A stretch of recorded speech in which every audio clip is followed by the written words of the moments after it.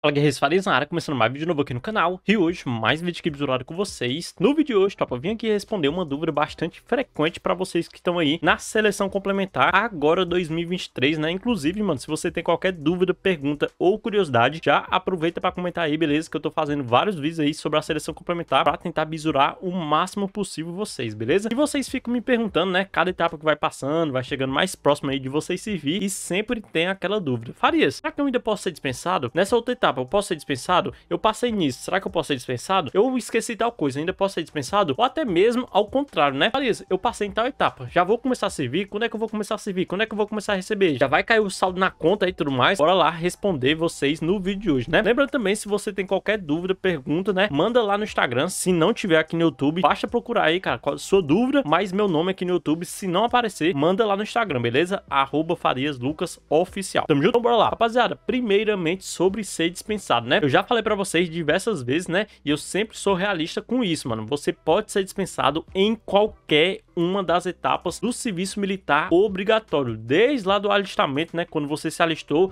e ficou aguardando a mensagem de designação ou de dispensa, e aí você foi designado, foi para a seleção geral. Na seleção geral você poderia ser dispensado em qualquer uma das etapas, passou também, ainda bem, né? Tá agora na seleção complementar e nessa etapa da seleção complementar, nesse processo, né, você pode ser dispensado também em qualquer uma das etapas, beleza? Então fica atento se você não foi dispensado ainda, padrão demais, mantenha aí nesse né, padrão aí para logo logo você tá incorporando, beleza? Ah, Farias, mas e se chegar na incorporação e tudo mais? Eu ainda posso ser dispensado? Mano, ano retrasado, né? 2020, foi? 2021. Eu fiz um vídeo aqui no canal falando pra vocês que um guerreiro foi pra semana zero. Eles pediram pra comprar diversas coisas lá, né? E tudo mais. Foi pra incorporação e no dia da formatura de incorporação tava lá os familiares dele, os pais dele e tudo mais. Ele foi dispensado. Eu fiz um vídeo falando sobre isso aí, beleza? Se você quiser saber mais, basta procurar aqui no canal. Então, para vocês verem, cara, que você pode ser dispensado em qualquer uma das etapas. Ah, Farias, mas isso é certo, é errado, é correto, é justo? Mano, quem manda no sistema são eles. Vocês têm que entrar sabendo isso aí, mano. Quem manda são eles e eles que mandam quem entra e quem sai. Não tem esse negócio de é justo, é correto. Mano, se eles mandar, vai fazer o quê? Por isso que eu falo para vocês ter um peixe para vocês ter um contato lá dentro para poder desenrolar isso aí e acabar não sendo dispensado por besteira, beleza? Então,